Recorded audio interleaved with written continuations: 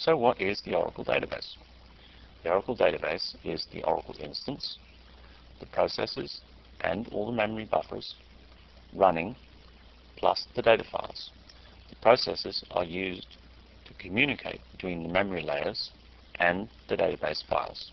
Looking at the database files, we see we have data files. The data files store the actual data. The redo logs retain a record of changes to the data files.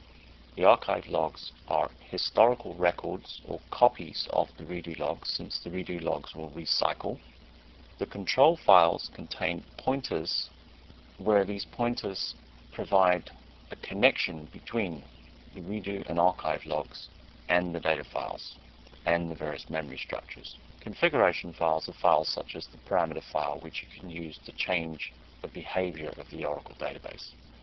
So the Oracle instance, consisting of the process and memory layers, is connected to all the database files making up the Oracle database.